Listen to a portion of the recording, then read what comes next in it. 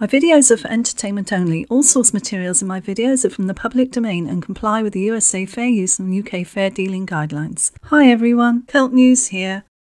There's a really interesting article um, in Sky News from Rhiannon, Rhiannon Mills, the one that Prince Harry was just a bit unpleasant to her when he was getting into the car in South Africa. And he sort of dismissed, dismissed her and told her to stop behaving like this. She's written a very interesting article here. She was travelling to Pakistan with Prince William and Catherine. Well, she gives a really nice account of what happened on the plane. She says she was curled up in her plane seat with her eye mask on, earplugs in, and she heard the giggling. She lifts her mask to see Prince William and Kate standing near her seat, and she says they've come to the back of the plane to say hello to us again and caught most of us fast asleep. And she goes on to say that it was the third time they'd made the effort to come back and chat. And she says, I quote, It may not sound like a big deal, but it doesn't usually happen on royal tours. And if it does, members of the family have never spent that long with us. So the little things are really big things. It's making such a difference.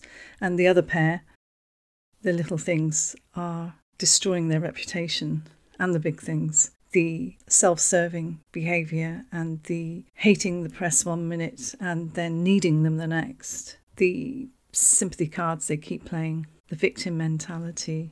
So she goes on to say about William and Kate becoming old hands at these high profile visits. And then she says, compare it with the tone of the end of the Prince Harry and Meghan's tour a few weeks ago, and you couldn't have a bigger contrast. She then talks about Harry making it all about them by releasing the statement allow- announcing legal action against the Mail on Sunday and all his criticism of the press.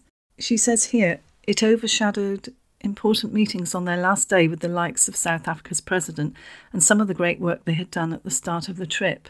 As we head back from Pakistan, you could argue his brother and sister in law have shown how it should be done. I think many people would agree with that.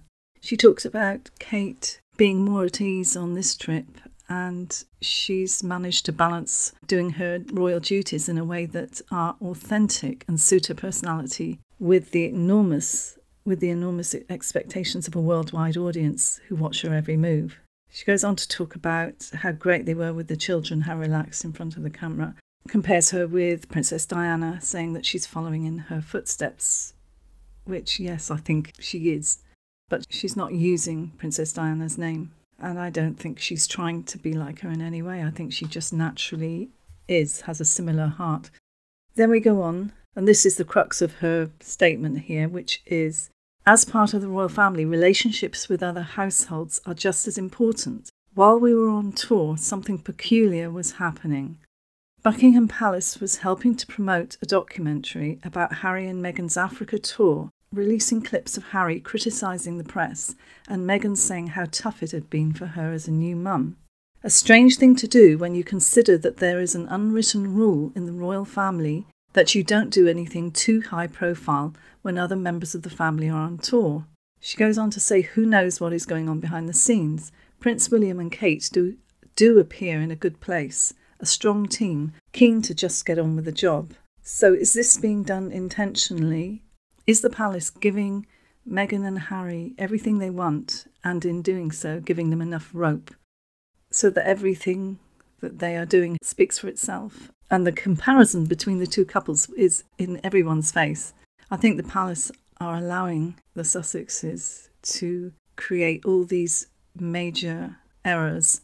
Another wonderful thing that Prince William and Catherine did was to, well, William actually did it. He personally insisted that the journalists travelling with them, who were also on the flight, would come back with them to the hotel and they were found a bed for the night. His his main concern was that nobody would be left behind. He said that they were all in it together and he was adamant about that.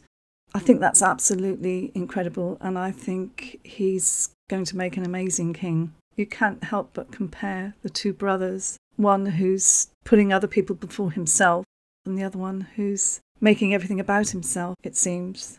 I know one thing if I was flying with a lot of turbulence, I would love to have Prince William and Catherine on the plane with me.